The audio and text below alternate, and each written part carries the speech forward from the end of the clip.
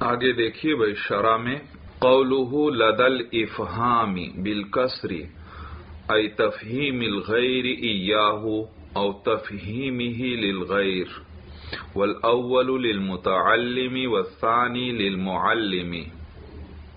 قوله من ذوي الافهام بفتح الهمزة جمع فهم والظرف اما في موضع الحال من فاعل يتذكر او متعلق بيتذكر بتضمین معنى الاخذ او التعلم. گزشتہ سبق میں آپ نے پڑھا تھا کہ من تقریر عقائد الاسلام، کہ اس میں جو عقائد کی اضافت ہو رہی ہے اسلام کی طرف، یا تو یہ اضافت بیانی ہے جبکہ اسلام سے بھی صرف عقائد مراد ہوں۔ اور یا یہ اضافت لامی ہوئی۔ اگر اسلام سے مراد، اسلام سے مراد تین، تینوں چیزوں کا مجموعہ ہو یعنی اقرار باللسان، عقائد اور اعمال کا، تینوں کا مجموعہ ہو۔ اور اسی طرح اگر اسلام سے صرف جو ہے اقرار باللسان مراد دیا جائے، تو بھی اس صورت میں یہ اضافت لامی ہوئی۔ اس کے بعد آپ نے پڑھا تھا کہ جعل تو تبصرتن یہ جعلتہ میں یہ جو حاض امیر ہے، یہ جعلہ کے لیے، جعلتو کے لیے مفول اول ہے، اور تبصرتن کیا ہے؟ مفول ثانی۔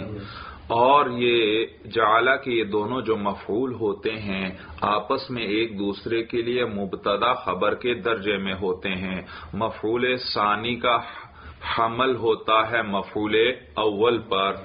تو اس صورت میں پھر جعل تو حاض امیر سے کتاب مراد اور تبصرہ تو مستر ہے، تو مستر کا حمل تو ذات یعنی کتاب پر نہیں ہو سکتا۔ تو دو جواب ذکر کیے تھے۔ ایک تو یہ کہ یا تو حمل اسی طرح ہے بطور مبالغہ کے، یا یہ تبصرہ بمانے مبصرن کے ہے۔ اگر تبصرہ کا حمل مستر کا حمل اسی طرح کیا جائے بطور مبالغہ کے، تو پھر یہ مجاز عقلی ہے۔ یہ کیا ہے؟ مجاز عقلی۔ مجاز عقلی کسے کہتے تھے کہ اسناد کرنا کسی چیز کا غیر ماہوا لہو کی طرف، کہ اس کی طرف ہونا نہیں چاہیے اور آپ اس چیز کی طرف اس کا اسناد کر دیں۔ تو یہ کیا ہے؟ مجاز عقلی ہے۔ جیسے میں نے مثال ذکر کی تھی، نہر بہ رہی ہے۔ بھائی، نہر تو نہیں بہتی، بہتا تو اس میں پانی ہے۔ تو بہنے کی نسبت ہونی چاہیے تھی پانی کی طرف، اور آپ نے کس کی طرف کر دی؟ نہر کی طرف۔ تو یہ کیا ہے؟ مجاز عقلی۔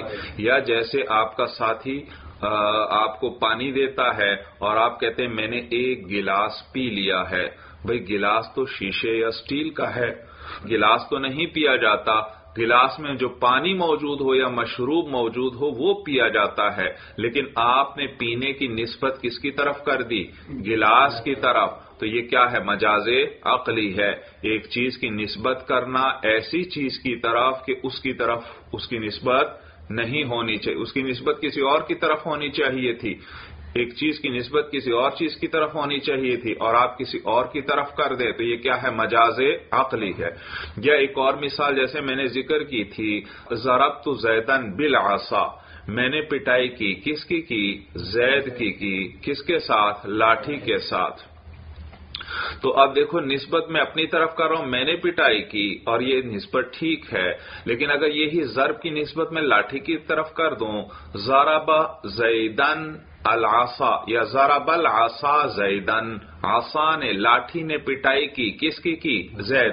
اب یہ پٹائی لاٹھی نے تو نہیں کی، یہ تو لاٹھی والے نے کی، جس کے پاس لاٹھی ہے جو انسان ہے، لیکن پٹائی کی نسبت کس کی طرف کر دی؟ لاٹھی کی طرف۔ تو فیل کا اسناد ہوا۔ اس چیز کی طرف جس کی طرف اس کا اسناد نہیں ہونا چاہیے تھا۔ تو یہ کیا ہے؟ مجاز مج... بات سمجھ میں آ گئی؟ تو مجاز عقلی میں ایک چیز کا اسناد اس چیز کی طرف نہیں ہوتا جس کی طرف ہونا چاہیے، بلکہ کسی دوسری چیز کی طرف اسناد کر دیا جاتا ہے۔ تو یہ ہے مجاز عقلی۔ اور یہاں معنی نہیں بدلتا۔ دیکھو ضرب کا معنی ہے پٹائی کرنا، وہی معنی ابھی بھی کر رہا ہوں۔ آسا کا معنی ہے لاٹھی، وہی معنی ابھی بھی کر رہا ہوں۔ ذرا باہل آسا لاٹھی نے اس کی پٹائی کی۔ تو دیکھو، کوئی لفظ کسی دوسرے معنی میں استعمال ہوا ہے؟ نہیں، ہر لفظ اپنے معنی میں ہے۔ تو مجاز عقلی میں ہر لفظ اپنے معنی میں ہوتا ہے۔ البتہ آپ نسبت ایک چیز کی طرف ہونی چاہیے تھی۔ آپ نسبت کسی دوسری چیز کی طرف کر دیتے ہیں۔ یہ ہے مجاز عقلی۔ اس میں معنی نہیں بدلتا۔ جبکہ دوسرا ہے مجاز لغوی۔ مجاز لغوی میں ایک لفظ کو آپ دوسرے معنی میں استعمال کر لیتے ہیں۔ جیسے شیر کا لفظ وضع تو ہے کس کے لیے؟ جنگلی درندے کے لیے۔ لیکن آپ اس کو استعمال کر لیتے ہیں کس کے لیے؟ بہادر آدمی کے لیے۔ تو تو اس کو کہتے ہیں مجاز لغوی۔ تو مجاز عقلی میں اسناد بدلتے ہیں اور مجاز لغوی میں معنی بدلتے ہیں بھائی۔ بات سمجھ میں آ گئی؟ جی۔ آگے دیکھیے بھائی۔ قولہ لدل افہامی پہلے ذرا متن دیکھ لو بھائی۔ متن کا میں پھر ترجمہ کر دیتا ہوں تو پھر شرح کو سمجھنا آسان ہو جائے گا بھائی۔ جعلتہ تب سراتن میں نے اس کتاب کو سمجھانے والا بنایا ہے۔ تب سرا ائی مبصرا میں نے اس کتاب کو سمجھانے والا بنایا۔ لیمن اس شخص کے لیے حاولت تبصرا جو سمجھنے کا ارادہ کرے، لدل افہامی اے عند الافہامی۔ کس وقت؟ سمجھاتے وقت۔ میں نے اس کتاب توجہ ہے۔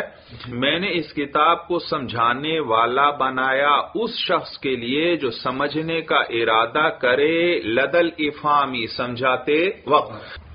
تو میں نے اس کتاب کو سمجھانے والا بنایا۔ لمن ہا والا تبصرا جو شخص سمجھنے کا ارادہ کرے۔ تبصر کا معنی سمجھنا، لدل افہامی سمجھاتے وقت۔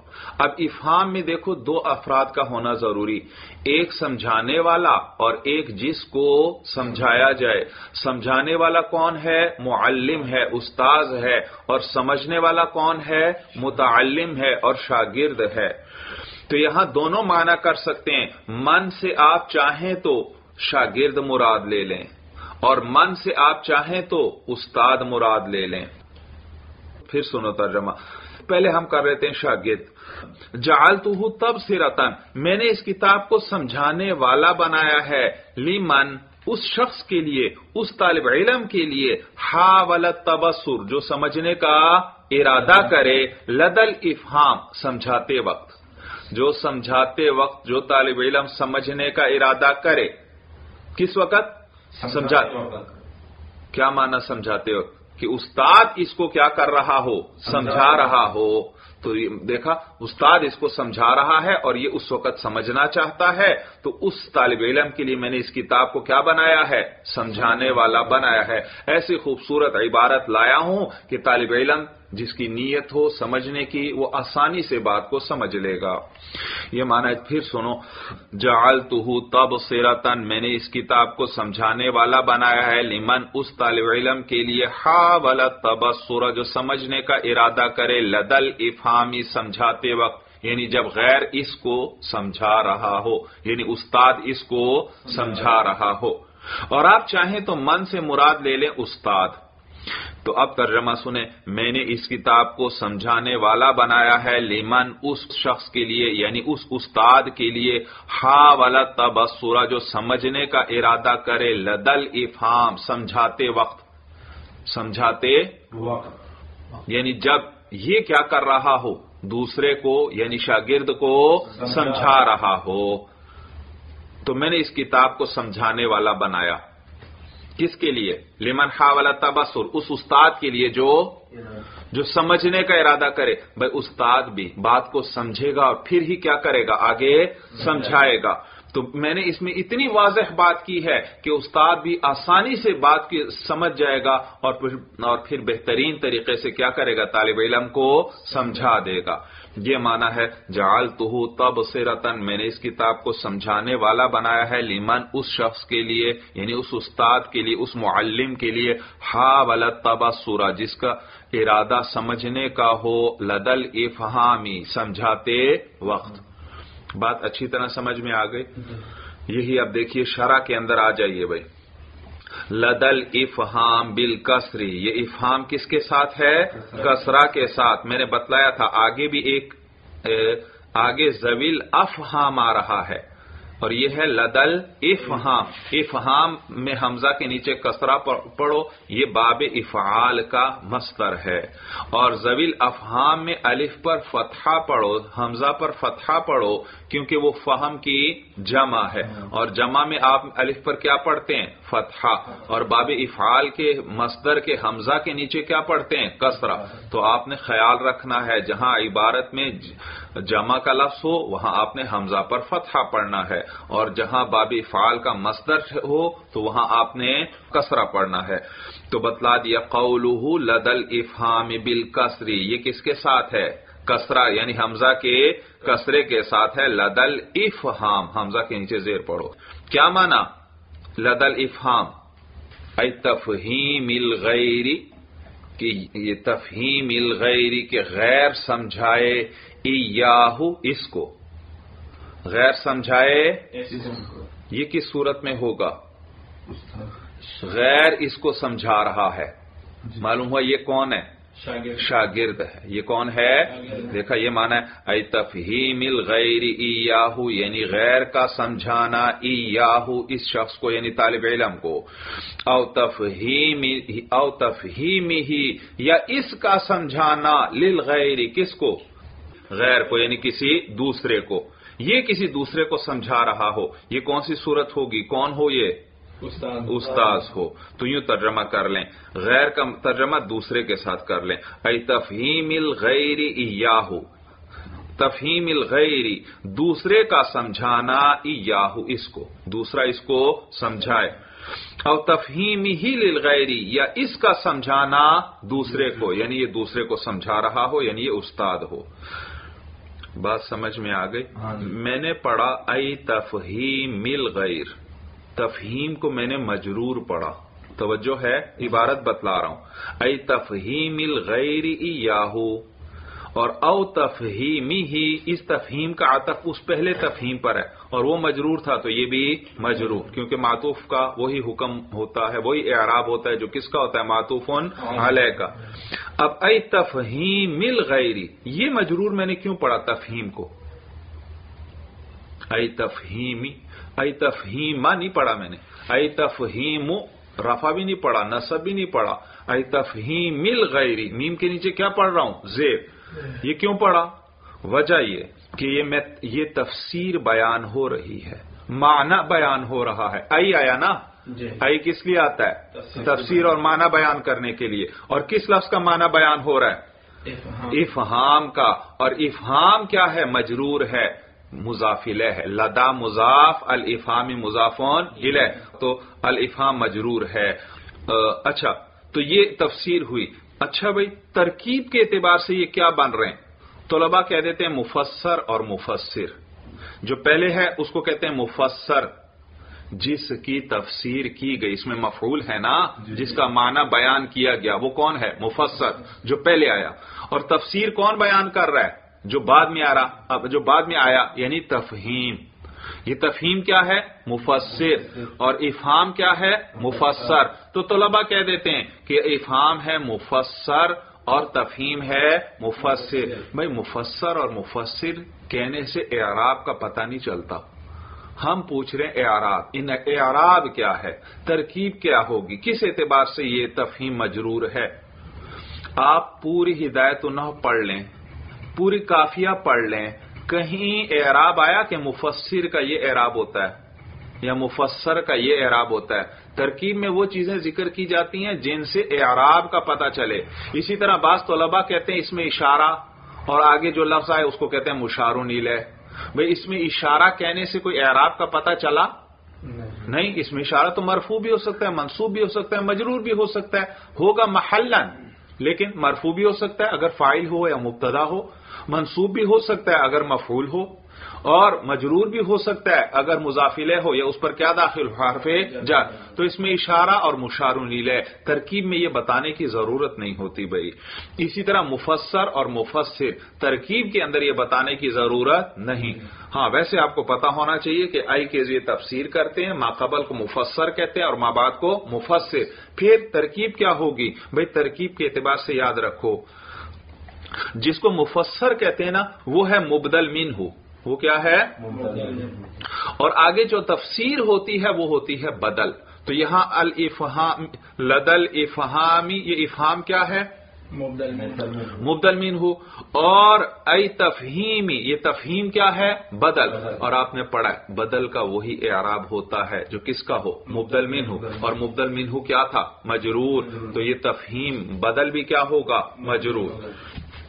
جی تو اس لیے پڑھیں گے۔ ای تفہیم الغیر ایاہو کے غیر کا دوسرے کا سمجھانا اس کو او تفہیم ہی للغیر یا اس کا سمجھانا دوسرے کو والاول للمتعلم۔ اور پہلا کس کے لیے ہے؟ متعلم سیکھنے والے کے لیے یعنی طالب علم کے لیے۔ والثانی للمعلم۔ اور دوسرا کس کے لیے ہے؟ معلم سکھانے والے استاذ کے لیے۔ پہلا طالب علم کے لیے کون سا؟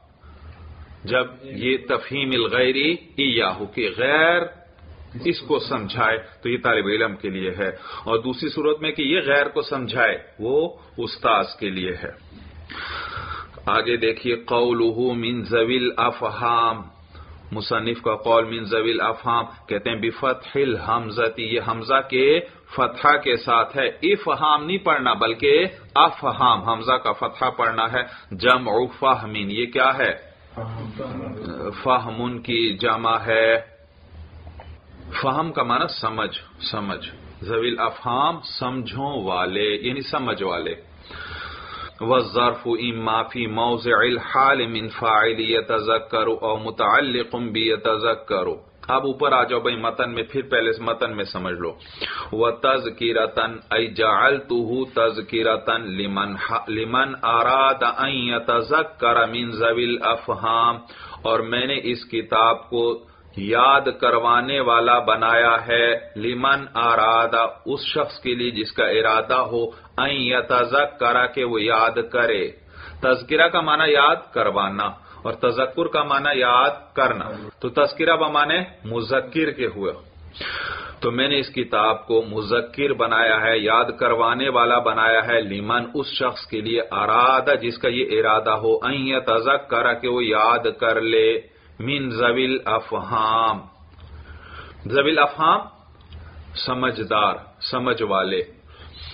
اب یہاں دو ترکیبیں ذکر کی تھیں۔ ایک ترکیب یہ کہ من زویل افہام کو حال بناؤ یہ تذکرو کی ہوا ضمیر سے۔ یہ تذکرہ فیل ہے نا؟ اور فیل کے لیے کیا چاہیے؟ فائل تو اس کے اندر ہے ہوا ضمیر۔ اور اس کو بنا دو ذوالحال۔ اور من زویل افہام اس کو کیا بناؤ؟ حال۔ کیسے حال بنے گا؟ مین جارہ۔ زوی مجرور لفظن مضاف۔ الافہامی مجرور لفظ مضافن مضاف اپنے مضافلے سے مل کر مجرور جار مجرور اب انہوں نے حال بننا ہے جار مجرور مل کر متعلق ہوئے سابتن سے۔ کس سے۔ سابتن سے۔ سابتن سگا اس میں فائل اس کے اندر اس کے لیے بھی تو فائل چاہیے۔ اس کے اندر ہوا ضمیر جو فائل ہے اور راجے کس کی طرف؟ ذوالحال کی طرف۔ حال کو کس سے جوڑتے ہیں؟ ذوالحال سے۔ تو ہوا ضمیر آج ذوالحال کو۔ اس میں فائل ثابتن جو ہے، وہ اپنے فائل اور متعلق۔ متعلق کون ہے؟ منزویل افہام۔ تو اس میں فائل اپنے فائل اور متعلق سے مل کر شب جملہ ہو کر یہ کیا ہوا؟ حال۔ تو یہ تذکروں کے اندر جو ہوا ضمیر وہ کیا ہے؟ ذوالحال. تو وہ ذوالحال اپنے حال سے مل کر یہ تذکروں کے لیے فاعل بن گیا. ترکیب سمجھ میں آ گئی؟ تو کیسے ترجمہ ہوگا؟ اور میں نے اس کتاب کو یاد کروانے والا بنایا ہے. لیمن اس شخص کے لیے اراد تذکرا جس کا یہ ارادہ ہو کہ وہ یاد کر لے، اس حال میں کہ وہ سمجھداروں میں سے ہو۔ وہ شخص کس میں سے ہو؟ سمجھداروں میں سے ہو۔ دوسری ترکیب یہ ہے کہ من زویل افہام، یہ جار مجرور ہے۔ اس کو براہ راست یہ تذکروں سے جوڑ دو۔ فیل سے بھی جار مجرور جڑتے ہیں یا نہیں جڑتے؟ تو یہ براہ راست اسی کے ساتھ جڑ جائیں گے۔ تو ترجمہ یوں ہوگا۔ اور میں نے اس کتاب کو یاد کروانے والا بنایا ہے۔ لمن ارادہ اس شخص کے لیے جس کا یہ ارادہ ہو کہ این کرا وہ یاد کر لے من زویل افہامی سمجھداروں سے۔ جو سمجھداروں سے لے کر یاد کر لے سمجھداروں سے لے کر یاد کر لے یا سمجھداروں سے سیکھ کر یاد کر لے۔ تو ایک ترکیب من زویل افہام کی اس کو ہم نے حال بنایا۔ اور دوسری ترکیب من زویل افہام کی کہ اس کو کس سے براہ راست جوڑ دیا؟ یہ تذکروں سے۔ یاد رکھیے یہاں بھی وہی دو صورتیں یہ متعلم کے لیے بھی ہو سکتا ہے اور معلم کے لیے۔ جب آپ نے زویل افہام من زویل افہام کو حال بنایا توجہ ہے؟ جی، جی۔ اس کو کیا بنایا۔ حال۔ جی، وہ شخص جس کا توجہ سے سنو وہ شخص جس کا ارادہ یہ ہو کہ وہ یاد کر لے اس حال میں کہ وہ شخص خود کس میں سے ہے؟ سمجھداروں میں سے ہے۔ معلوم ہوا یہ استاد کی بات ہو رہی ہے۔ کس کی بات ہو رہی ہے؟ استاد کی بات ہو رہی ہے۔ تو من سے کون مراد ہوا؟ استاد تو پھر سنو اب ترجمہ سنو۔ اور میں نے اس کتاب کو یاد کروانے والا بنایا ہے۔ لمن اس شخص یعنی اس استاد کے لیے اس معلم کے لیے جس کا یہ ارادہ ہو کہ وہ اس وہ کیا کر لے؟ یاد کر لے۔ اس حال میں کہ وہ کس میں سے ہے؟ استاد سمجھداروں میں سے ہے۔ تو یہ کس کے لیے ہوا؟ معلم کے لیے۔ اور دوسری ترکیب کیا ہے؟ من زویل افہام کو کس سے جوڑا؟ یہ تذکر اسے۔ یاد رکھیے اس صورت میں پھر من سے مراد متعلم ہوگا، شاگرد ہوگا۔ اب ترجمہ سنو۔ اور میں نے اس کتاب کو یاد کروانے والا بنایا ہے۔ لمن اس شخص کے لیے یعنی اس طالب علم کے لیے ارادہ تذکرہ جس کا یہ ارادہ ہے کہ وہ یاد کر لے۔ من زویل افہام، سمجھداروں سے سیکھتے ہوئے کہ وہ کیا کر لے؟ یاد کر لے سمجھداروں سے سیکھتے ہوئے یا سمجھداروں سے لیتے ہوئے یعنی اساتذہ سے لیتے ہوئے، اساتذہ سے سیکھتے ہوئے۔ تو زویل افہام سے کون مراد ہوئے؟ اساتذہ۔ اور من سے کون مراد ہوا؟ طالب علم جو سیکھنا چاہتا ہے ان سے لے کر۔ اب دیکھیے شرح میں آ جائیے۔ اب یہی بات بیان کریں گے۔ کہتے ہیں وہ ظرف اور ظرف جو ہے بھئی یہ جو مین زویل افہام یہ جار مجرور ہے نا؟ جی۔ اور جار مجرور کو مجازن ظرف کہتے ہیں۔ اگر ان کا متعلق مذکور ہو تو اس جار مجرور کو کہتے ہیں ظرف لغو۔ اور اگر اس کا متعلق محضوف نکالنا پڑے تو اس کو کہتے ہیں ظرف مستقر۔ تو ظرف سے مراد یہ مین زویل افہام یہ والا جار مجرور ہے۔ تو کہتے ہیں الظرف یہ جو اور جو ظرف ہے ام معافی موضع الحال یا تو یہ حال کے مقام میں ہے من فاعل یتذکرو یتذکرو کے فاعل سے۔ یتذکرو کے فاعل سے یہ حال کے مقام میں ہے۔ اور اس کے لیے پھر ہم نے کیا نکالا تھا؟ ثابتن او متعلق بھی یتذکرو یا یہ براہ راست متعلق ہے کس کے ساتھ؟ یتذکرو کے ساتھ۔ سوال۔ بی یتذکرو با کیا ہے؟ جارہ۔ اور حروف جارہ داخل ہوتے ہیں اسم پر۔ اسم کا خاصہ ہے نا؟ جی، جی۔ آپ نے پڑھا اسم کی علامتوں میں سے ایک علامت یہ ہے کہ اس پر کیا آئے؟ جر آئے۔ اور جر کس کی وجہ سے آتا ہے؟ حرف جر کی وجہ سے۔ تو جب جر اسم کے ساتھ خاص ہے تو معلوم ہوا حرف جر بھی صرف کس پر داخل ہوگا؟ اسم۔ تو یہاں تو یہ تزک کرو فیل پر داخل ہو رہا ہے۔ او متعلق بھی یتذکرو کیا جواب دیں گے؟ جواب یہاں یتذکرو سے لفظ یتذکرو مراد ہے۔ کیا مراد ہے؟ ہاں یہاں یہ فیل کے معنی میں نہیں اس لیے اس کا ترجمہ بھی نہیں کریں گے۔ او متعلق بھی یتذکرو ترجمہ کرو۔ یہ یوں سمجھو یوں سمجھو آسان بات۔ یہ جو عبارت میں وہ جو یہ تذکرو آیا تھا نا اس کا نام ہی ہم نے یہ تذکرو رکھ دیا۔ اب یہ اس کا نام ہے عالم ہے اور عالم کیا ہوتا ہے؟ اسم اسم۔ ہوتا ہے۔ تو یہ نام ہے اور اس نام پر کیا داخل ہوئی؟ با۔ تو با فیل پر داخل ہوئی یا اسم پر؟ اسم۔ تو یہ اس وقت فیل نہیں ہے یہ اسم ہے۔ بھائی اس کی کیا دلیل ہے کہ یہ اسم ہے؟ آپ آپ اس کا ترجمہ کریں۔ آپ اس کا ترج... آپ اس عبارت کا ترجمہ کریں۔ تو دیکھو یہ تذکرو کا ترجمہ نہیں کریں گے۔ دیکھو او متعلقم بی تذکرو یا یہ ظرف متعلق ہے کس کے ساتھ؟ یہ تذکرو کے ساتھ۔ حالانکہ تذکرو کا معنی تو کیا تھا؟ یاد کرنا۔ لیکن یہاں کوئی بھی ترجمہ نہیں کرے گا اس کا۔ کیونکہ ترجمہ کرے گا پھر تو فیل ہوا اور یہاں تو فیل نہیں۔ بات بھی سمجھ میں آئی کہ نہیں آئی؟ تو بہرحال تفصیل وہاں نحو کی کتابوں نحو کی ترکیب وغیرہ میں آپ کو مل جائے گی۔ جیسے آپ کہتے ہیں زارابا فعل۔ زارابا کیا ہے؟ فیل زارابا کو مبتدا بنا دیا۔ حالانکہ فیل تو مبتدا نہیں بنتا۔ زارابا مبتدا اور فعل اس کی خبر۔ اور ترجمہ کرو۔ زارابا فعل ترجمہ کرو۔ زرابا فعل ہے۔ معلوم ہو وہ جو عبارتوں میں زرابا آتا تھا اس کا نام ہی کیا رکھ دیا؟ زارابا تو یہ عالم بن گیا اور اب اس لیے مبتدا بھی بن رہا ہے۔ اور عالم بن گیا اور عالم کا نام کا کوئی ترجمہ کرتے ہیں؟ آپ کا ایک ساتھی عبداللہ ہے وہ آپ کے پاس آئے تو آپ کیا کہتے ہیں؟ اللہ کا بندہ آیا ہے؟ یا اس کا نام لیتے ہیں عبداللہ آیا ہے؟ حالانکہ عبداللہ کا معنی تو ہے اللہ کا بندہ لیکن کوئی بھی اس کا ترجمہ نہیں کرتا کیونکہ عالم میں ترجمہ نہیں کیا جاتا اس کا بھائی۔ تو یہاں تو کہتے ہیں او متعلق بھی کرو یا یہ ذرا متعلق ہے کس کے ساتھ؟ یہ تذکر کے ساتھ بھی تزمین مان الخذ ابھی تعلمی اخذ یا تعلم کے معنی کی تزمین کے ساتھ۔ یہ بات سمجھ لو بھائی۔ بھائی، اشکال یہ ہوتا ہے کہ آپ نے مین زویل افہام کو کس سے جوڑا؟ یہ تذکر سے جوڑا۔ یاد رکھو، یہ حرف جر جس فیل سے جڑتے ہیں، یہ اس کا سلا کہلاتے ہیں۔ کیا کہلاتے ہیں؟ سلا کہلاتے ہیں۔ جیسے مثلا زارب تو زیدن فدار زرب تو زیدن فد یہ فدار کس سے متعلق؟ زاربتو سے۔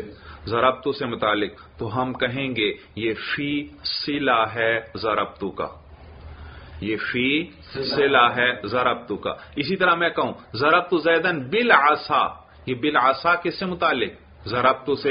تو ہم کیا کہیں گے؟ یہ با سلا ہے۔ کس کا؟ زربتو کا۔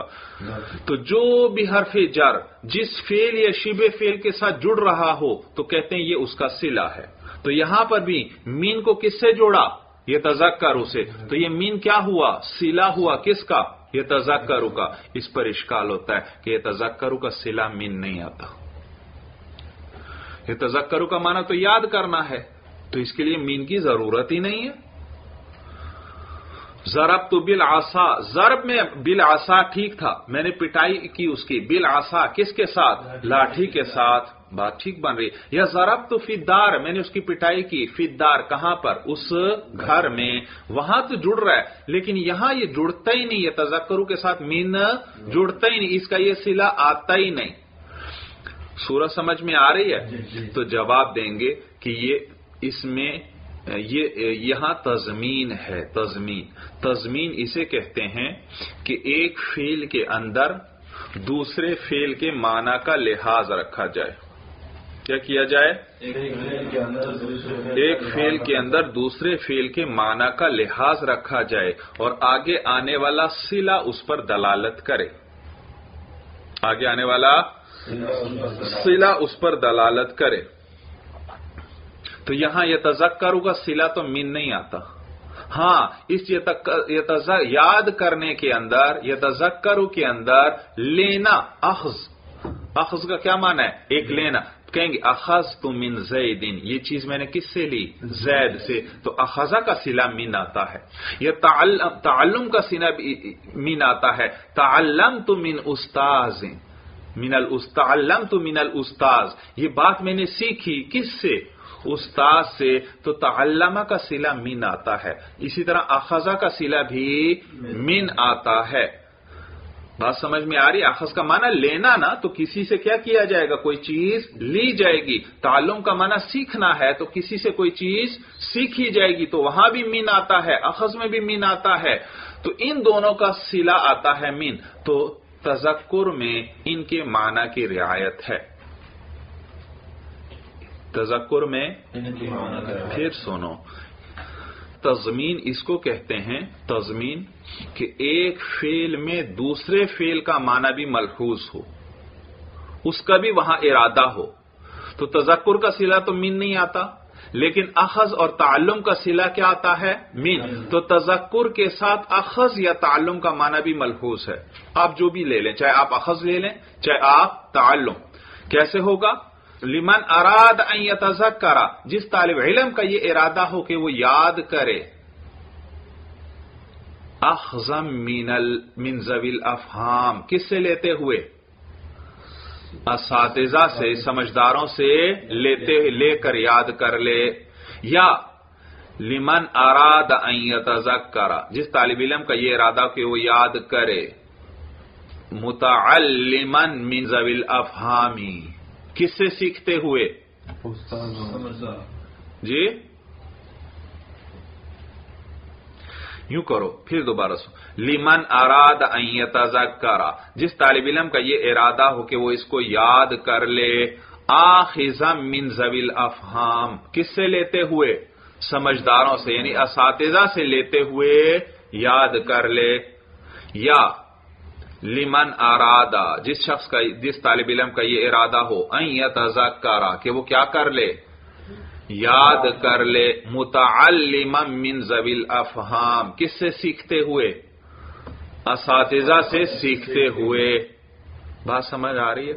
تو یہاں تذکر کے اندر اخذ یا تعلم کا معنی ملحوظ ہے۔ بھئی تذکر کا کیا معنی؟ یاد کرنا۔ اسی کے ساتھ اخذ کے معنی کی بھی رعایت رکھ لو۔ یا اسی کے ساتھ تعلم کے معنی کی بھی رعایت رکھ لو۔ کس کی؟ اخذ کا معنی بھی۔ ملحوظ رکھو۔ اور اخذ کا سلا تو مین آتا ہے تو مین لے آئے۔ یا اسی تذکر کے ساتھ کس کی رعایت رکھ لی؟ تعلم۔ کی۔ اور تعلم کا سلا تو مین آتا ہے اس لیے مین لے آئے۔ تو تزمین اسے کہتے ہیں کہ ایک فیل کے اندر ہی دوسرے فیل کے معنی کی رعایت رکھی جائے، وہ بھی ملحوظ ہو اور اس پر آگے آنے والا سلا دلالت کرتا ہے۔ وہ سلا بتلاتا ہے۔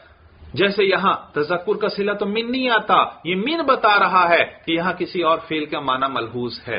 خود کیونکہ تذکر کا سلا تو من آتا ہی نہیں، معلوم ہو کسی اور فیل کا معنی ملحوظ ہے۔ تو وہ موقع محل کے مطابق آپ دیکھ لیں، کس کا معنی ملحوظ ہے؟ یاد کرے کیا، کس طرح؟ لیتے ہوئے دوسرے سے استاد سے لیتے اور اخذ اور اخذ کا سیلا کیا آتا ہے؟ مین۔ تو یہاں اخذ کا معنی بھی ملحوظ ہے۔ یاد کرے، کس سے لیتے ہوئے؟ اساتذہ سے لیتے ہوئے۔ یا یہاں آپ ملحوظ کیا کر لیں؟ تعلم ملحوظ رکھ لیں۔ تعلم کا سلا کیا آتا ہے؟ مین آتا ہے۔ وہ طالب علم یاد کر لے۔ تعلم متعلم من زویل افہام کس سے سیکھتے ہوئے؟ استاذوں سے سیکھتے ہوئے تو یاد کرنے کا معنی بھی ہے اور ساتھ تعلم کا معنی بھی ہے۔ یا یوں کہہ لو، یاد کرنے کا معنی بھی ہے اور اخذ کا معنی بھی ہے۔ اور پتہ کس سے چل رہا ہے؟ مین سے چل رہا ہے۔ کس سے پتا چل رہا ہے؟ مین سے، کیونکہ تذکر کا سلا مین نہیں آتا۔ اب دوہراؤ بھائی۔ تزمین کسے کہتے ہیں؟ کہ ایک فیل کے اندر دوسرے فیل کے معنی بھی ملحوظ ہو یعنی مراد ہو، اور اس پر آگے آنے والا سلا یعنی حرف جر کیا کرے؟ دلالت کرے۔ تو یہاں تذکر کا سلا تو مین نہیں آتا۔ اس مین نے بتایا، معلوم ہے کسی اور فیل کا معنی بھی یہاں ملحوظ ہے۔ اور وہ کیا ہو سکتا ہے؟ موقع محل کے مطابق جو بھی آپ نکالنا چاہیں یہاں پر کیا مناسب ہے؟ اخذ۔ یاد کرے کس سے لیتے ہوئے؟ اساتذہ سے۔ یا یاد کرے کس سے سیکھتے ہوئے؟ استاد۔ تو یہاں یا اخذ کا معنی ملحوظ ہے یا تعلم کا معنی ملحوظ ہے۔ تو تزمین کیسے کہتے ہیں؟ ایک فیل کے اندر دوسرے فیل کا معنی ملحوظ ہو اور آگے آنے والا سلا اس پر دلالت کرے۔ یہ معنی نہیں کہ تذکر کا اپنا معنی چھوڑ دیا۔ نہیں نہیں۔ تذکر کا اگر اپنا معنی چھوڑ دیتے ہو اور اس کو تعلم کے معنی میں لے لیتے ہو، پھر تو یہ مجاز بن گیا۔ یہ تو کیا بن گیا؟ یا آپ تذکر کا معنی چھوڑ دیتے ہو اور اخذ کا معنی لے لیتے ہو؟ نہیں اس کا اپنا معنی نہیں چھوڑنا۔ اپنا معنی بھی ہے اور دوسرے فیل کا معنی بھی ملحوظ ہے۔ پھر آسان طریقہ یہ ہے اس دوسرے فیل کو حال بنا لو۔ کیا بنا لو؟ حال بنا یاد کر لے۔ اس حال میں کہ آخذم من زویل افہام کس سے لیتے ہوئے؟ ترجمے کے طور پر ترجمے کے طور پر۔ بات سمجھ میں آ رہی ہے؟ ورنہ تو اسی فیل کے اندر معنی ملحوظ ہے۔ یہ حال بنانے ترکیب کے اعتبار سے حال نہیں بنائیں گے معنی کے اعتبار سے میں سمجھانے کے لیے کہہ رہا ہوں۔ یاد کرے کس سے لیتے ہوئے؟ اساس۔ یا کس سے سیکھتے ہوئے؟ تذکر متعلمن بات سمجھ میں آ گئی؟ دیکھیے خود یہی معنی بیان کریں گے۔ دوبارہ سنے کہتے ہیں وہ ظرف اما فی موضع الحال من فاعل یتذکر یا ظرف جو ہے من ذویل افہام یہ ظرف جو ہے یا تم حال کے مقام میں ہے من فاعل یتذکر کس سے حال بن رہا ہے؟ یتذکر کے فاعل سے ا متعلق بھی یتذکر یا یہ کس سے متعلق ہے؟ براہ راست یہ کے ساتھ بھی تزمین ایمان الخذ او تعلمی اخذ یا تعلم کے معنی کی؟ تزمین کے ساتھ۔ ایتزک کرو دیکھو وہی حال بنا لیں گے اس کو۔ ایتزک کرو پر ان داخل تھا نا متن میں۔ ہاں، جی تو اسی طرح یہاں بھی پڑھ لیں۔ ایتزک کرا آخذن او متعلمن من زویل افہامی کہ وہ یاد کرے اس حال میں کہ وہ لینے والا ہو او متعلمن یا سیکھنے والا ہو۔ من زویل افہامی کس سے؟ سمجھداروں سے یعنی اساتذہ سے فہذا ایزن یحتمل الوجہین تو یہ بھی وہ دو وجہوں کا احتمال رکھتا ہے۔ یہ بھی، یہ کلام بھی ان دو وجہوں کا احتمال رکھتا ہے۔ کون سی دو وجہیں؟ جو لدل افہام میں آئی تھیں۔ افہام کہ غیر اس کو سمجھائے یا یہ غیر کو سمجھائے، یہ متعلم ہو یا معلم ہو، یہاں بھی اسی طرح ہے۔ من زویل افہام کو جب آپ نے حال بنایا، تو پھر اس صورت میں یہ کس کے لیے ہے؟ اساتذہ، استاد مراد ہے۔ اور جب آپ نے اس کو من زویل افہام کو جوڑ دیا، کس سے؟ یہ تذکر اسے، وہ طالب علم یاد کرے، کس سے لیت کر؟ اساتذہ سے لے کر تو اس صورت میں اس سے مراد متعلم ہے تو وہی دونوں معلم اور متعلم والے دونوں احتمال یہاں بھی ہوں گے۔ بات سمجھ میں آ گئی؟ یہ معنی فہاز یحتمل الوجہین، تو یہ بھی وہ دو وجہوں کا احتمال رکھتا ہے۔ بھائی پہلے متن دیکھ لو۔ متن میں کیا آیا تھا؟ سی یمل ولد العز سی یمل ولد العز میں نے آپ کو بتلایا تھا کہ یہاں لا محضوف ہے۔ اصل میں کیا ہے؟ لا سی عمل ولد۔ اب اسی کی شرح کرنے لگے ہیں۔ دیکھیے شرح کے اندر۔ قول سیما کہ مصنف کا قول سیما کہتے ہیں اسی یو بیمان المسلی سی کس معنی میں ہے؟ مسل کے معنی میں۔ مسل کے معنی میں۔ یقال عربی میں کہتے ہیں، ہما سیانی۔ ای مسلانی وہ دونوں کیا ہیں؟ مثل ہیں ایک دوسرے کے۔ وہ دونوں کیا ہیں؟ مثل ہیں۔ یعنی زید عمر جیسا ہے تو عمر زید جیسا ہے۔ تو ہما سی یعنی وہ ایک دوسرے کے مثل ہیں۔ تو معلوم ہوا سی کس معنی میں آتا ہے عربی میں؟ مثل۔ تو کہتے ہیں یقال ہما سی یعنی اے مثلانی۔ وہ اصل سی یما لا سی یما۔ اور سیما کی اصل کیا ہے؟ لا سیما ہے۔ خزف لا فی لفظی لا کو لفظوں سے تو حذف کر لیا گیا لاکن نہ مراد مانن لیکن معنی کے اعتبار سے وہ مراد ہے۔ معنی کے اعتبار سے مراد ہے۔ یہ عام استعمال ہوتا ہے۔ اور کثرت استعمال تقاضا کرتی ہے کس کا؟ خفت کا۔ کہ لفظ کو ہلکا ہونا چاہیے۔ لہذا بعض اوقات استعمال میں کیا کر لیتے ہیں؟ لا کو لفظوں سے حذف کر لیتے ہیں، اگرچہ وہ وہاں مراد ہوتا ہے۔ وما زائدتن او موصولتن او موصوفتن وہادا اسلوح اچھا اب ترکیب کی بات آ گئی۔ توجہ سے سنو بھائی، لا سی یما کی ترکیب بھائی۔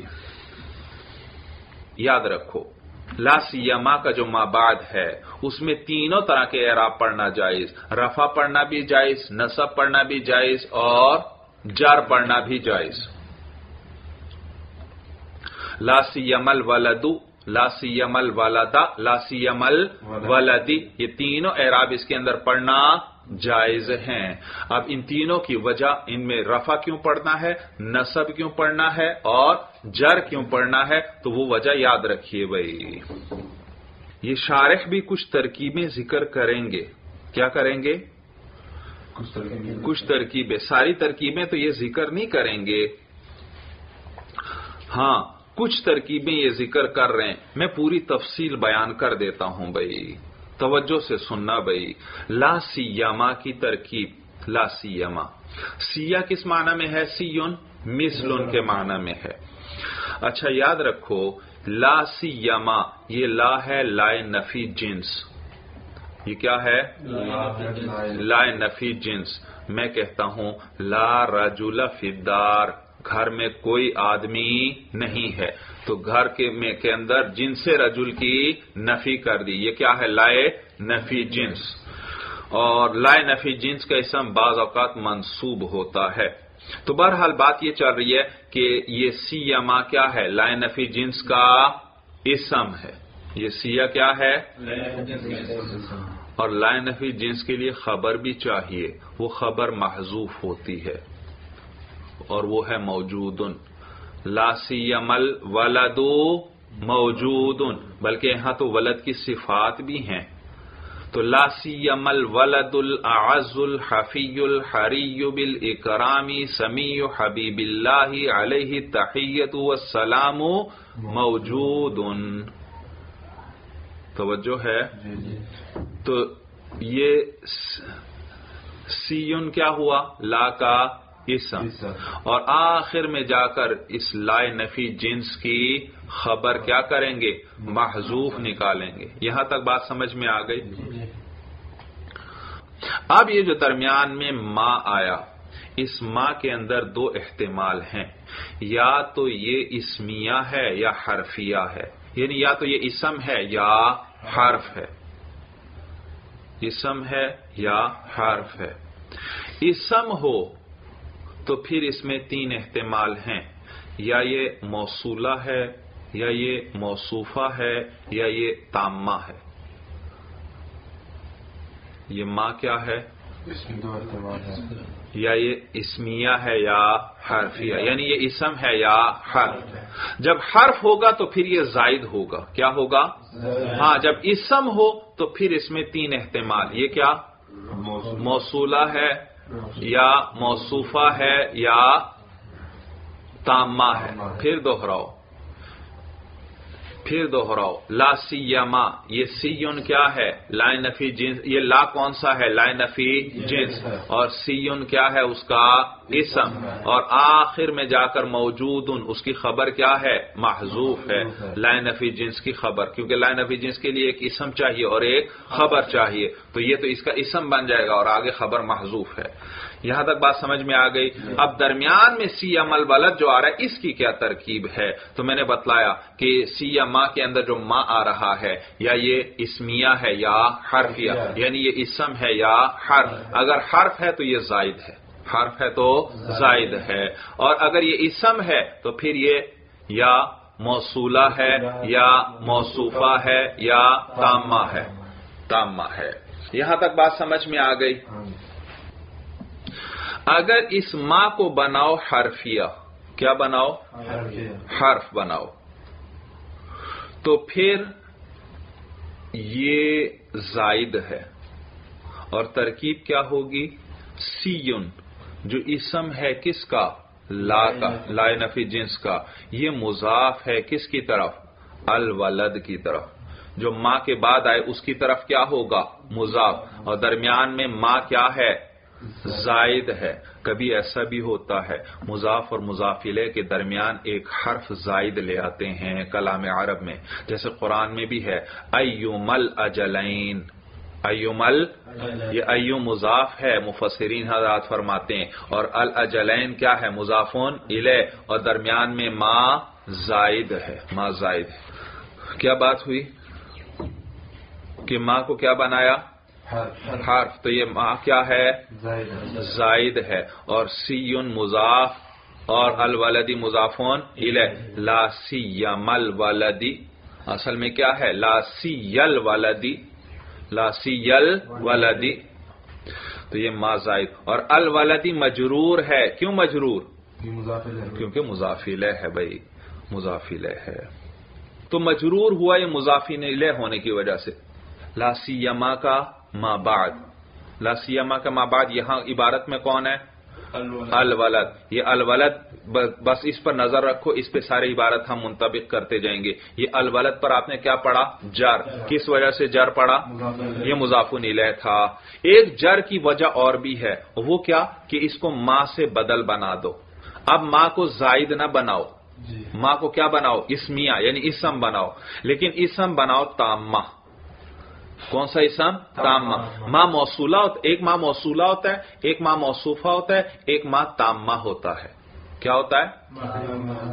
ماں تامہ. ماں موصولہ کے لیے ہمیشہ کیا چاہیے؟ سیلا ماں موصوفہ کے لیے ہمیشہ کیا چاہیے؟ صفت. لیکن ایک ماں تامہ ہوتا ہے نہ اس کے لیے صفت چاہیے نہ اس کے لیے سلا چاہیے۔ یا اس کو یوں کہہ لو ماں اسی کا دوسرا نام ہے نکیرائے غیر موصوفہ۔ ماں کیا ہے؟ نکیرائے غیر موصوفہ۔ ایک اور بات یاد رکھو ماں کتنی قسم کے ہوا؟ تین۔ ماں موصولہ یا موصوفہ یا تامہ۔ ماں موصولہ کے لیے کیا چاہیے؟ سلا اور ماں موصوفہ کے لیے صفت۔ سلا بھی جملہ ہوگا۔ صفت بھی جملہ ہوگی۔ لیکن فرق یہ ہے ماں موصولہ اس میں موصول ہے معرفہ ہے۔ اور ماں موصوفہ نکرا ہے۔ کیا ہے؟ تو دونوں معرفہ اور نکرہ ہونے میں فرق ہے۔ ماں موصولہ کیا ہوتا ہے؟ معرفہ۔ اور ماں موصوفہ کیا ہوتا ہے؟ نکرہ ہوتا ہے۔ اور کان جو ماں تامہ ہے وہ نکرہ غیر موصوفہ ہوتا ہے۔ کیا ہوتا ہے؟ وہ بھی نکرہ ہے لیکن آگے اس کی کوئی صفت نہیں آتی۔ تو اسی کو ہم کیا کہتے ہیں؟ ماں تامہ۔ تو ماں کتنی قسم کا ہوا؟ ماں اسمیہ۔ ماں اسمیہ تین قسم کا ہوا۔ یا موصولہ ہوگا اور یہ معرفہ ہے اور اس کے لیے کیا چاہیے؟ سلا یا ماں موصوفہ ہوگا اور یہ نکرا ہے اور اس کے لیے کیا چاہیے؟ اس کے لیے صفت چاہیے. یا کیا ہوگا؟ ماں تامہ ہوگا اور یہ نکرا ہے غیر موصوفہ ہے. اس کے لیے نہ آگے سلا آئے گا نہ صفت. سورج سمجھ میں آگے؟ تو یہ نکرا غیر اس کی صفت آگے نہیں آئے گی یہ خود تامہ ہے پورا ہے. بمانے شے ان کے. ماں تامہ کس معنی میں ہوتا ہے؟ شے ان کے. تو یہ نکرا بھی ہے دیکھو اشے نہیں کہا شے ان کہا۔ اشے ہوتا تو کیا تھا؟ معرفہ۔ تو یہ ماں تامہ جو ہوتا ہے کس معنی میں ہوتا ہے؟ شے ان کے معنی میں کوئی چیز اور یہ نکرا ہے اور غیر موصوفہ یعنی اس کی کوئی صفت وغیرہ نہیں آتی۔ اچھا بات چل رہی تھی لا سیم الولدی الولد کو مجرور پڑا وجر کی ایک وجہ کیا؟ کہ یہ مضافون الہ ہے۔ کس کے لیے؟ سیاہ کے لیے۔ اور درمیان میں ماں کیا ہے؟ زائد ہے حرف ہے کیا ہے؟ حرف ہے۔ حرف یہ ہے۔ دوسری ترکیب کہ الولدی کو مجرور پڑھیں اور یہ ماں سے بدل ہے۔ ماں سے ماں مبدل مین ہو۔ اور الولد کیا ہے؟ بدل۔ اور یہ جو ماں ہے نا یہ مضافن الہ یہ خود ہے۔ یہ کیا ہے؟ سیا مضاف اور ماں مضافون الہ اور یہ الولد اسی ماں سے کیا ہے؟ بدل تو ماں کیا ہوا؟ مبدل من ہو اور الولد اس سے بدل اور آپ نے پڑھا بدل کا وہی اعراب ہوتا ہے جو کس کا ہو؟ مبدل. من ہو کا ہو. تو اس صورت میں یہ جو ماں ہے نا ماں یہ زائد نہیں ہے کیونکہ یہ تو مضافلے بن رہا ہے۔ مضافلے بن رہا ہے۔ اور یہ کون سا ماں ہے؟ تام ماں ہے۔ یعنی نکیرا غیر موصوفہ بمانا شے ان کے۔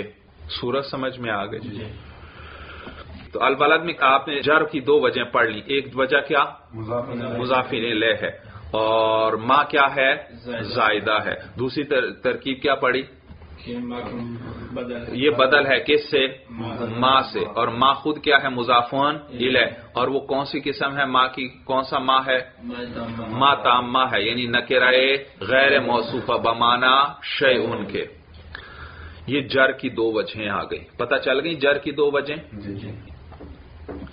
تو جر کی کتنی وجہ آ گئی دو وجہ آ گئی ایک کیا؟ مضافون الہ دوسرا کیا؟ بدل ہے۔ کس سے؟ ماں سے۔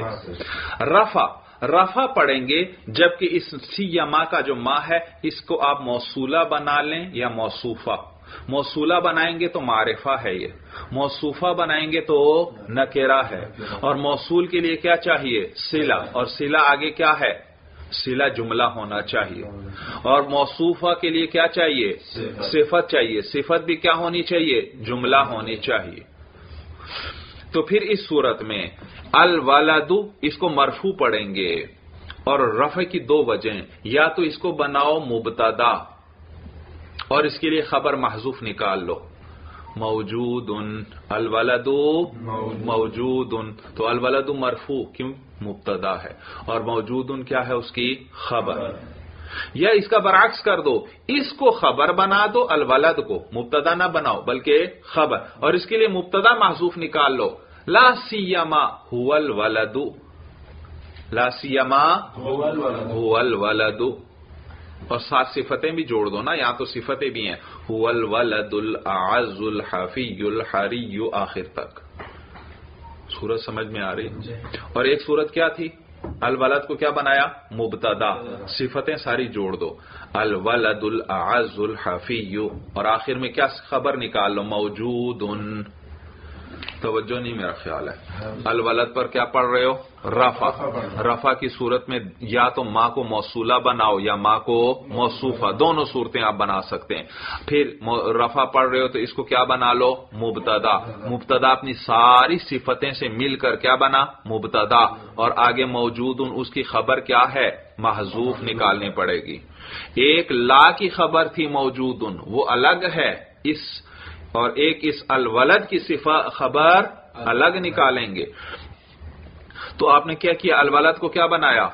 مبتدا۔ اور اس کی خبر محضوف ہے۔ وہ کیا ہے؟ موجود۔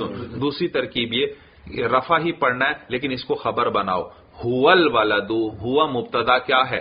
محضوف اور الولد کیا ہے؟ اس کی خبر۔ لاسیما الولد یہ خبر ہے۔ ہوا مبتدا الولد اس کی خبر۔ اور آگے یہ خبر کی صفتیں آ رہی ہیں۔ الولد الاعز الحفی۔ تو الولد اپنی ساری صفتوں سے مل کر کیا بن جائے گا؟ خبر۔ تو مبتدا خبر مل کر، مبتدا چاہے اس کو مبتدا بناؤ چاہے خبر۔ تو مبتدا خبر مل کر، پھر یہ اگر ماں کو موصولہ بنایا تھا تو یہ اس کا سلا بن جائے گا۔ اور اگر ماں کو موصوفہ بنایا تھا تو یہ اس کی صفت بن جائے گی۔ سورج سمجھ میں آ گئی؟ تو رفا کی بھی دو وجہیں آ گئیں۔ کون سی دو وجہ ماں کو موصولہ بناؤ یا موصوفہ۔ لیکن یہ الولد پر رفا اس کی دو وجہیں ہو سکتی ہیں۔ کیا؟ کیا وجہیں ذکر کی یا تو اس کو کیا بناؤ؟ مبتدا۔ یا اس کو کیا بناؤ؟ خبر۔ بنا دو۔ سورت سمجھ میں آ گئی۔ جی۔ تیسری صورت یہ ہے کہ الولد یعنی سی اللہ سیما کے ماں بعد پر نصب پڑے نصب کی تین وجہیں ہیں بھائی۔ جر کی دو وجہیں تھیں۔ رفا کی بھی دو وجہیں ہیں لیکن نصب کی تین وجہیں ہیں۔ تین وجہیں۔ ایک وجہ یہ کہ یہ منسوب ہو تمیز ہونے کی بنا پر۔ لاسیما کا ماں بعد کیا ہو؟ منسوب ہو کس بنا پر؟ تمیز ہونے کی بنا پر۔ اور آپ نے ہدایت النح اور کافیہ میں پڑھا ہوگا کہ تمیز اور حال یہ کیا ہوتے ہیں؟ منسوب ہوتے ہیں۔ تو الوالدہ یہ منسوب۔ لیکن یہاں یہ جاری نہیں ہو سکتی کیونکہ تمیز میں ضروری ہے کہ وہ نکیرا ہو۔ اور یہاں الولد کا لفظ یعنی لاسیما کا جو ماں بعد ہے وہ کیا ہے؟ وہ معرفہ ہے تو یہ یہاں تمیز نہیں بن سکتا۔ لیکن ویسے لاسیما کا ماں بعد اس کو منسوب پڑھنے میں کتنی وجہیں ہو سکتی ہیں؟ تین وجہیں۔ یا تو آپ اس کو تمیز بھی بنا سکتے ہیں تمیز بھی لیکن وہ ترکیب یہاں نہیں ہوگی۔ لیکن بہرحال تین وجوہات میں ذکر کر رہا ہوں، صرف اسی کے لیے نہیں، جہاں بھی لاسی یما آئے، آپ یہ ترکیبیں وہاں جاری کر سکتے ہیں۔ تو اگر نکیرا ہو تو آپ اس کو منسوب پڑھیں گے۔ کس بنا پر؟ تمیز کی بنا پر بھی منسوب پڑھ سکتے ہیں۔ سورج سمجھ میں آ گئی، لیکن اس میں صرف کیا ضروری؟ کہ یہاں ماں بعد معرفہ نہیں ہونا چاہیے لاسی عمل ولد نہیں ہونا چاہیے۔ لاسیما والا دن نکیرا ہونا چاہیے۔ تو جگہ جگہ عبارت آئے گی وہاں کہیں نکرا ہوگا کہیں معرفہ ہوگا۔ جب نکرا ہو تو پھر آپ تمیز بھی بنا سکتے ہیں۔ دوسری ترکیب نصب کی دوسری وجہ دوسری وجہ کہ اس مابعد کو منسوب پڑھو اور آنی فیل محضوف نکال لو۔ کیا نکال لو؟ آنی فیل محضوف نکال لو۔ اور اس صورت میں ما نکیرا تامہ ہوگا۔ ماں کیا ہے؟ لا سیما۔ تو ماں کس معنی میں ہوا؟ شعی ان کے معنی میں۔ اے لا مثل شعی ان اس چیز جیسا کچھ نہیں۔ آنل والدا بھائی وہ کیا چیز ہے؟ آنل والدا میری مراد اس لڑکے سے ہے، اس بیٹے سے ہے۔ بھائی آنی اور یعنی یعنی کے ساتھ کیا کیا جاتا ہے؟ کسی چیز کی مراد اور معنی ذکر کیا جاتا ہے۔ اسی سے آنی متکلم کا سیگا ہے۔ جی جی۔ آنی میری مراد یہ ہے۔ آنی لا سیما ماں سے مراد کیا ہے؟ ماں کون سا ہے؟ نکرا تامہ۔ کس معنی میں ہوتا ہے؟ شیون تو لا سیما ای لا سی یا شیئن لا مثل شیئن۔ عبارت سمجھ میں آ رہی ہے؟ سیون کس معنی میں؟ مثل. اور ماں کس معنی میں؟ شیئن ای لا مثل شیئن اس چیز جیسی کوئی چیز نہیں ہے. بھئی کون سی چیز؟ ابہام ہے یا نہیں؟ ہاں جی تو آنل والدا میری مراد وہ بیٹا ہے وہ لڑکا ہے. تو آنی کے ذریعے کیا کر دیا؟ اس معنی کو بیان کر دیا اس کی مراد کو ذکر کر دیا. تو آنی فیل. اس کے اندر آنا ضمیر آنی متکلم کا سیغہ ہے نا آنی نانی آنی فیل اس کے اندر آنا ضمیر فائل اور الولدہ اس کے لیے مفعول ہوا۔ تو یہ مفعول ہونے کی بنا پر یہ منصوب ہے آنی فیل کے لیے۔ جی۔ اور تیسری نصب کی وجہ یہ ہے کہ یہ لا سیما کو استثناء کے لیے مان لیں۔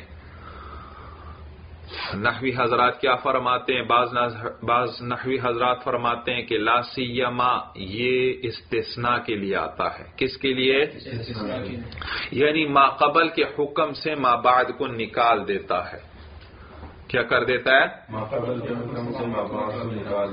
یعنی اس کی تخصیص کر دیتا ہے کہ میں نے اس کتاب کو تبصرہ بھی بنایا ہے اور تذکرہ بھی سب کے لیے لیکن خاص طور پر پھر ان سب میں سے اپنے بیٹے کو نکال کر الگ ذکر کر دیا۔ خاص طور پر کس کے لیے؟ اپنے بیٹے کے لیے۔ تو دیکھا ما قبل میں سے کیا تھا؟ جب سب کے لیے تبصرہ بنایا تو اس میں بیٹا بھی آ گیا یا نہیں؟ لیکن اس بیٹے کو پھر اس میں سے نکال کر با علیحدہ خصوصاً ذکر کر دیا کہ خاص طور پر اس کے لیے اس کتاب کا تبصرہ اور تذکرہ ہونا زیادہ لائق ہے اولا ہے بہتر ہے بات سمجھ میں آ گئی؟ تو یہ تخصیص کے لیے آیا۔ کس کے لیے؟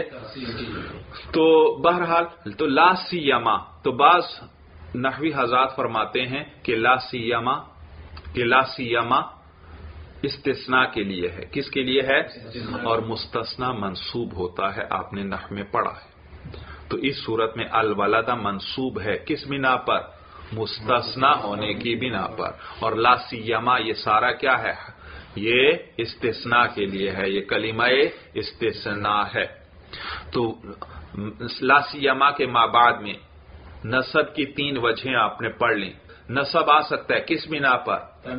تمیز کی بنا پر۔ آپ اس کو تمیز بنا لیں۔ اور آپ چاہیں تو کیا بنا لیں۔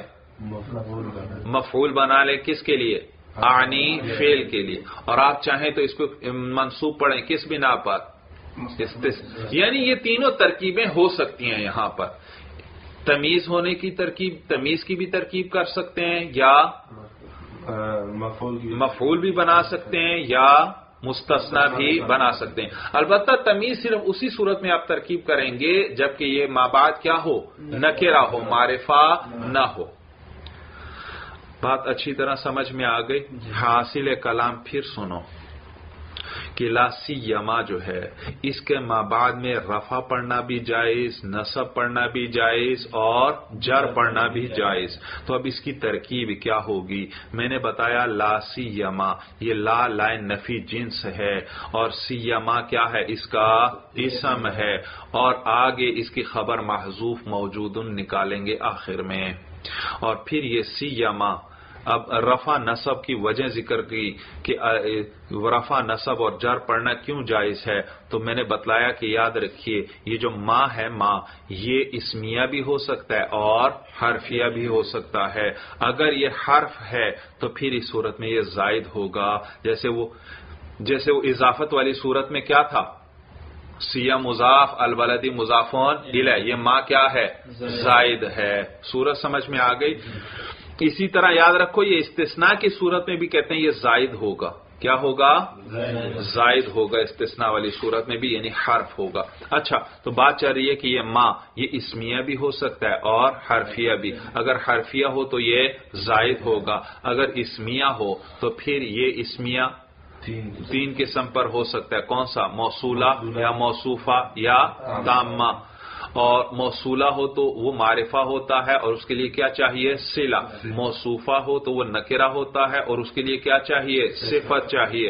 اور تامہ ہو تو یہ نکرا غیر موصوفہ ہوتا ہے۔ کس معنی میں؟ شعی کے معنی میں۔ آپ اس کے ماں باپ پر جر پڑھ سکتے ہیں دو وجہ سے۔ ایک وجہ کیا؟ اس کو مضافلہ بنائیں۔ اور ماں کیا ہو؟ زائد ہو زائد ہو یعنی حرفیہ ہو۔ لتوسیہ مضاف الولدی مضافن الہ دوسری وجہ جر کی کیا پڑی؟ بدل۔ ہو کس سے؟ ماں سے بدل۔ اور ماں کون سا ہے؟ ماں تامہ یعنی نکر غیر موصوفہ۔ اور یہ بدل ہے اس سے۔ اچھا اور اگر اس ماں کو بناؤ موصولہ یا موصوفہ تو پھر الولد کیا پڑھیں گے اس پر رفا اور رفا کی کتنی وجہ دو وجہ کیا؟ یا تو اس کو مبتدا بناؤ اور خبر آخر میں نکال لو. صفات بھی ساری جو ساری جوڑ دیں گے. الولد العز الحفی آخر تک اور آخر میں نکال لیں گے موجود. ان یا کیا کرو؟ خبر بناؤ. اور مبتدا کیا نکالو؟ ہوا. ہوا محضوف نکالو. ہوا الولد. تو رفا کی بھی دو وجہیں ہو گئیں. اور پھر یہ مبتدا خبر مل کر ماں موصولہ کے لیے سلا یا ماں موصوفہ کے لیے صفت بن جائیں گے بھائی۔ اور تو ماں موصولہ اور موصوفہ ہوں گے نا؟ جی۔ تو پھر یہ مضافلے بنیں گے سیاہ کے لیے۔ یہ تو پتا ہے نا آپ کو؟ جی۔ لا سیاہ کیا ہے؟ مضاف اور ماں مضافون الہ ایک صورت میں ماں زائد اس کے لیے مضافلے ضرور چاہیے۔ جی۔ ماں زائد ہے دو صورتوں میں۔ تو ایک صورت میں ماں کیا ہے؟ زائد ہے۔ اور الولد کیا ہے؟ وہ مضافل ہے۔ جبکہ باقی صورتوں میں ماں موصولہ یا جو موصوفہ ہے یا تامہ ہے وہ خود کیا بنیں گے؟ مضافون الہ بنیں گے۔ تو یہ رفع کی دو وجہیں تھیں۔ نصب کی کتنی وجہیں ہیں؟ تین وجہ یا تو نصب آئے گا تمیز ہونے کی بنا پر یا مفعول ہونے کی بنا پر۔ آنی فیل کے لیے۔ اور یا مستثنا ہونے کی بنا پر مستثنا ہونے کی بنا پر۔ اور استثناء کی صورت میں بھی انہوں نے لکھا ہے کہ یہ ماں کیا ہوگا؟ زائد۔ تو لاسیہ جو ہے یہ حرف اس کو کلمہ استثناء بنا لیں گے پورے کو۔ تو بہرحال یہ خصوصاً کے معنی میں آتا ہے خاص طور پر الولد میرا بیٹا۔ یہ ترکیبیں تو میں نے کئی ذکر کر دی لیکن معنی کس معنی میں ہوتا ہے یہ؟ خصوصاً کے معنی میں کہ خاص طور پر۔ تو یہاں اسی طرح متن میں بھی آپ تینوں طرح پڑھ سکتے ہیں۔ سی امل ولدو سی عمل ولدا اور سی عمل ولدی۔ اور آگے اسی ولد کی صفات آ رہی ہیں، تو وہ بھی اسی کے مطابق جو اعراب آپ الولد پر پڑھیں گے، وہی اعراب آگے صفات پر بھی پڑھیں گے۔ کیسے مثلا رفع پڑا سیم الولد ولد العز الحفی الحری بل اکرامی سمی حبیب اللہ علیہ تحیت والسلام. تو العز صفت اول ہے، الحفی صفت ثانی، الحری صفت ثالث، اور سمی یہ کیا ہے؟ صفت رابع۔ تو ان چاروں پر وہی اعراب آئے گا جو الولد پر ہے۔ اگر اس پر نصب پڑھیں تو یوں پڑھیں گے۔ سیم الولد العز الحفی الحری بل اکرامی سمی یا حبیب اللہ علیہ تحیت وسلام۔ اور اگر آپ جر پڑھیں تو سب پہ جر پڑھیں گے۔ سیم الولد العز الحفی الحری بل اکرامی سمی یہ حبیب اللہ علیہ تحیت وسلام۔ دیکھیے بھائی اب شرح کے اندر تو کہتے ہیں، وہ اصل سی یما لا سی یما اور سی یما کی اصل جو ہے، وہ لا سی یما ہے۔ ہو لا فی لفظ لاکن نہ مراد مانن لا کو حذف کر لیا گیا لفظوں میں، لیکن وہ معنی کے اعتبار سے مراد ہے۔ وہ زائدتن او موصولتن او موصوفتن۔ اور یہ ما زائدہ ہے، یا موصولہ ہے، یا موصوفہ ہے۔ ایک چوتھی چیز بھی میں نے بتائی تھی کہ یہ ماں کیا ہے؟ تامہ ہے نکرہ غیر موصوفہ ہے، وہ ذکر نہیں کیا، ساری ترکیبیں نہیں ذکر کی چند ایک انہوں نے ذکر کر دی وہ اسلح اور یہ اس کی اصل ہے۔ اصل کے اعتبار سے یہ ہے۔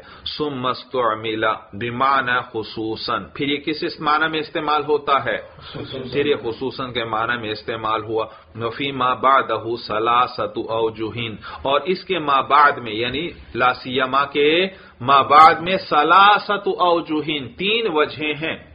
رفع بھی نصب بھی اور جر بھی۔ جر بھی دو وجہ سے۔ رفع بھی دو وجہ سے۔ اور نصب تین وجہ سے ہو سکتا ہے۔ تو بہرحال تینوں وجہیں اس کے مابعد میں جائز ہیں۔ رفع بھی، نصب بھی اور جر۔ یہ مانا ہے وفی ماں بادہ سلاست اوجوہین اور لاسیما کے مابعد میں تین وجہیں ہیں۔ رفع بھی، نصب بھی اور جر بھی۔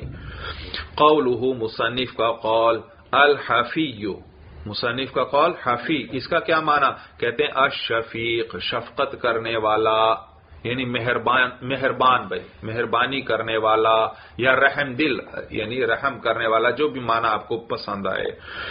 قولہ الحری مصنف کا قول الحری۔ ہری کا کیا معنی؟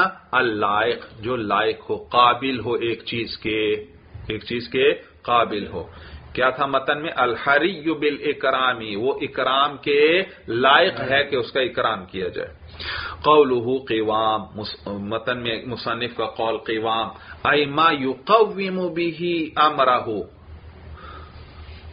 قیوام کسے کہتے ہیں؟ کہتے ہیں ماں وہ چیز، یقوم به، جس کے ذریعے وہ سیدھا کرتا ہے، امرہ، اپنے معاملے کو۔ وہ چیز جس کے لیے انسان اپنے معاملے کو سیدھا کرے یعنی درست کرے درست کرے۔ بتلانا یہ چاہتے ہیں کہ قیوام اس میں آلہ کا سیگا ہے۔ بھائی جس چیز کے لیے کوئی کام سر انجام دیا جائے اسے کیا کہتے ہیں؟ آلہ کہتے ہیں۔ جیسے قلم کی مدد سے آپ کیا کرتے ہیں؟ لکھتے ہیں۔ تو یہ قلم کیا ہوا؟ لکھنے کا آلہ۔ قینچی کے ذریعے آپ چیزوں کو کاٹتے ہیں۔ تو یہ کیا ہوا؟ کاٹنے کا آلہ۔ تو یہاں بھی بتلا دیا۔ قیوام کیا مانا؟ اے ماں یو قویم بھی امرہ۔ وہ چیز جس کے ذریعے وہ اپنی معاملے کو سیدھا کرتا ہے۔ تو یہ اس میں آلہ کا سیگا ہے۔ قیوام میں نے مانا بتلایا تھا۔ وہ چیز جس کے ذریعے کسی کوئی اپنے معاملے کو سیدھا کرتا ہے یعنی اس کی مدد سے مدد سے۔ تو یوں کہہ لو سہارا۔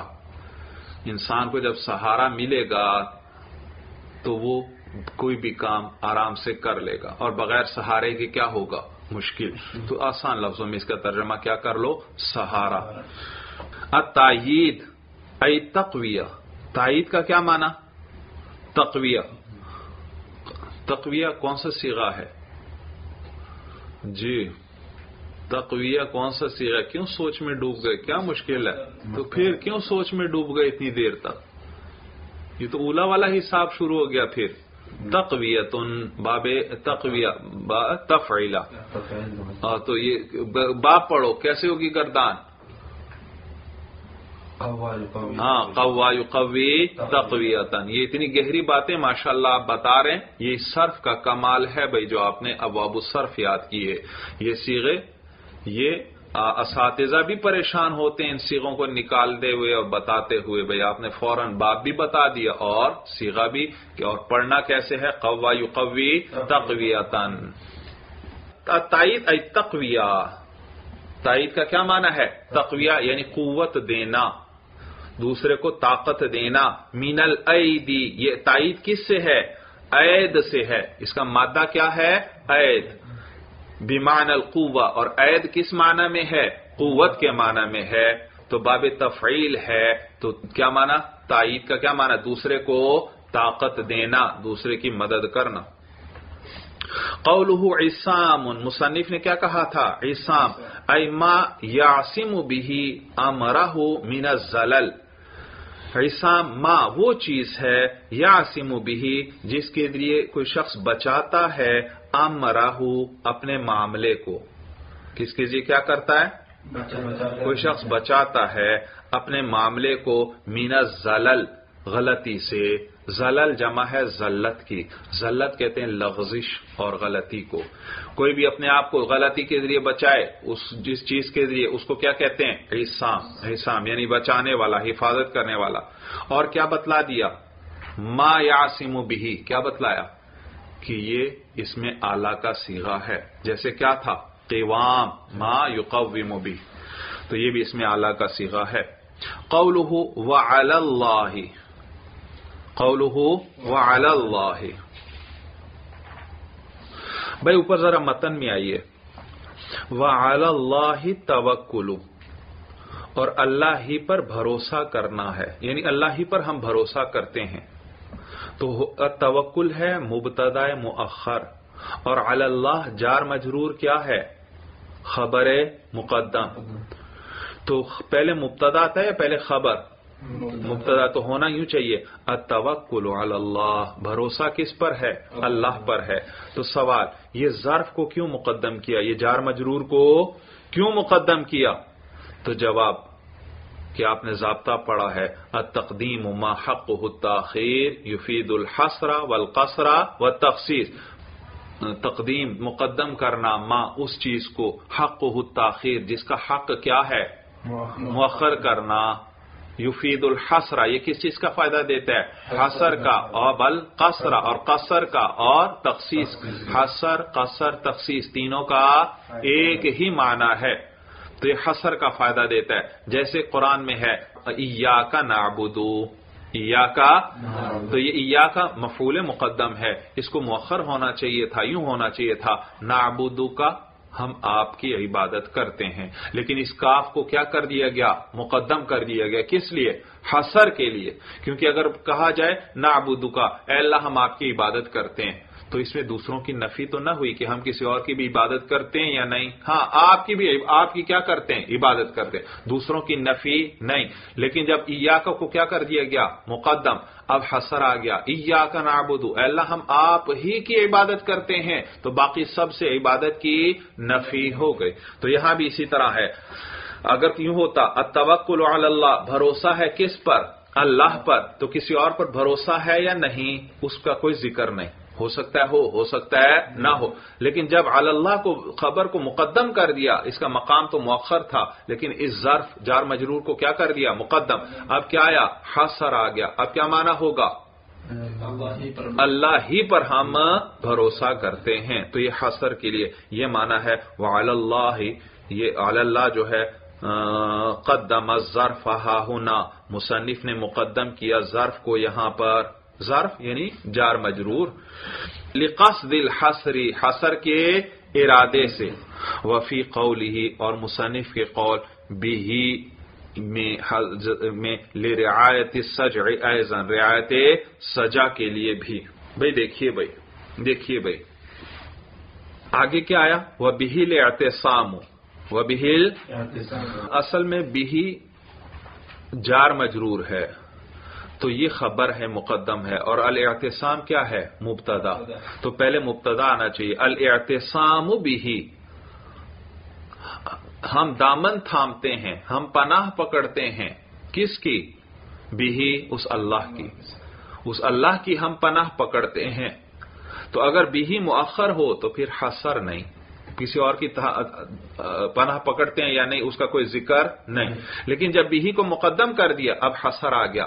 ہم اللہ ہی کی پناہ پکڑتے ہیں، اللہ ہی کی مدد مانگتے ہیں، کسی اور کی مدد نہیں مانگتے، تو حسر آ گیا۔ نیز، یہاں ایک اور فائدہ بھی ہوا۔ ایک تو حسر کا فائدہ ہوا۔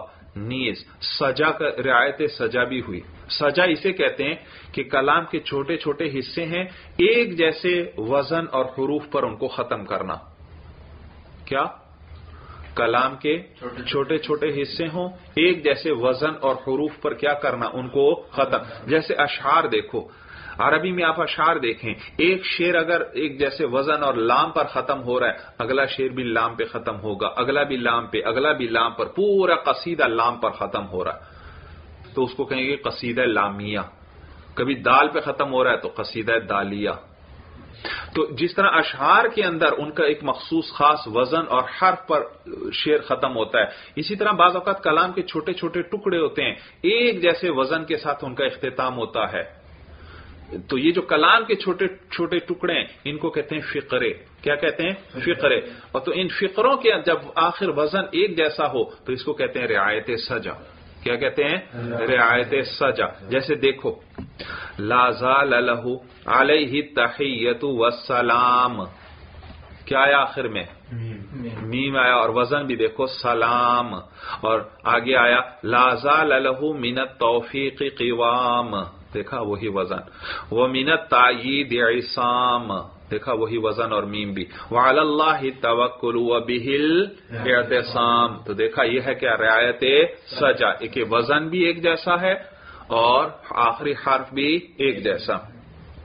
تو وہ بہل اعتصام۔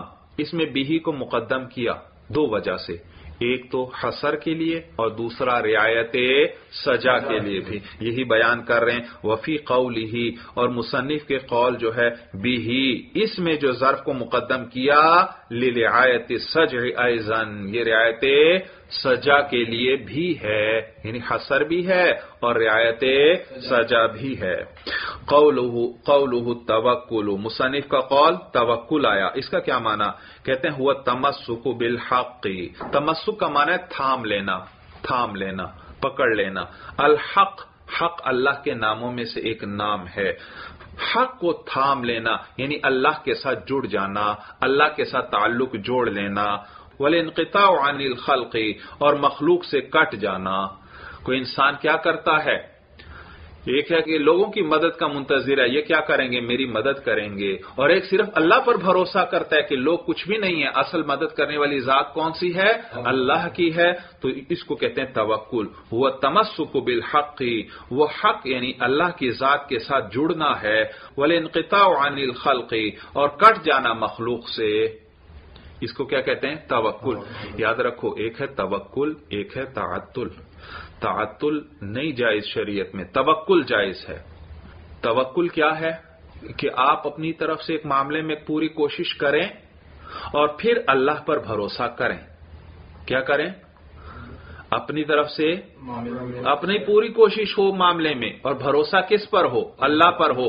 اعتماد کس پر ہے؟ اللہ پر۔ اللہ مجھے توفیق دیں گے۔ اللہ یہ کام مجھے کرنے کی توفیق دے دیں گے۔ بھروسہ اللہ پر ہی ہے اور اپنی طرف سے پوری کوشش کر رہا ہے۔ اور تو یہ ہے توکل کہ بھروسہ کس پر ہے؟ اللہ پر۔ اور اپنی طرف سے کیا کی؟ پوری کوشش کی۔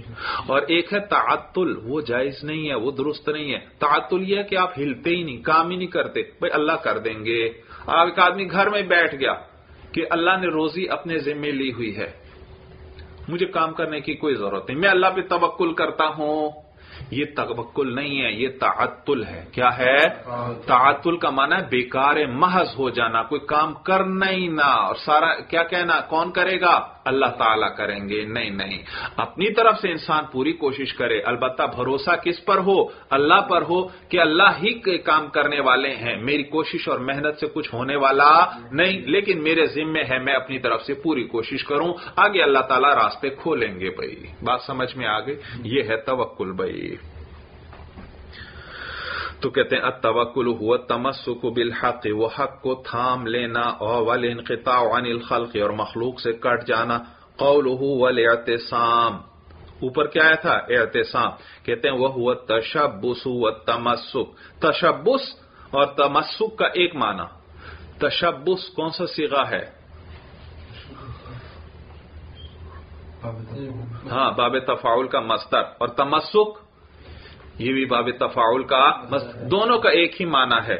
جڑ جانا، تھام لینا، کسی چیز کو تھام لینا، پکڑ لینا، وہ بھی تشبس اور تمسک کا معنی ہے۔ تو کیا معنی ہوا؟ بہل اعتصام اور ہم اللہ ہی کے ساتھ جڑتے ہیں یعنی اللہ ہی کی پناہ لیتے ہیں۔ تشبس کا کیا معنی ہے؟ کسی چیز سے جڑنا، کسی چیز کو تھام لینا۔ یعنی اللہ ہی پر وہی معنی کر اللہ ہی کی پناہ لیتے ہیں کسی اور کی پناہ نہیں لیتے۔ اللہ ہی پر بھروسہ۔ بات سمجھ میں آ گئی؟ اچھا اب متن ذرا پھر متن کا ذرا ترجمہ دیکھ لو۔ و بعد اور حمد و سلاد کے بعد فہذ غایت تہذیب الکلام، یہ انتہا درجے کا مہذب کلام ہے، فی تحریر المنطق والکلام علم منطق اور علم کلام کے بیان میں و تقریب المرام من تقریر عقائد الاسلامی اور یہ کتاب جو ہے مقصد یعنی کہ عقائد اسلام کے اس بات کو ذہنوں کے قریب کرنے والی ہے۔ اور جال تو تب سرتن میں نے اس کتاب کو سمجھانے والا بنایا ہے۔ لمن حاول تبصر لدل افہامی جس شخص کا ارادہ سمجھنے کا ہو سمجھاتے وقت۔ و تذکرتن لمن اراد ان تذکر من ذوی الافہامی اور میں نے اس کتاب کو یاد کروانے والا بنایا ہے۔ جس شخص کا ارادہ ہو کہ وہ یاد کرے سمجھداروں سے۔ سی عمل ولد العز الحفی الحر خاص طور پر میرا وہ بیٹا۔ جو بڑا ہی مجھے محبوب ہے الحفی بڑا ہی مہربان ہے الحری یو بال اکرام جو اکرام اور عزت کے لائق ہے کہ اس کا اکرام کیا جائے، اس کی عزت کی جائے، سمیع حبیب اللہ، وہ اللہ کے محبوب کا ہم نام ہے۔ علیہ تحیت و سلام اللہ کے محبوب پر، اللہ کی رحمت اور سلامتی ہو۔ یعنی اس بیٹے کا نام کیا ہے؟ محمد ہے۔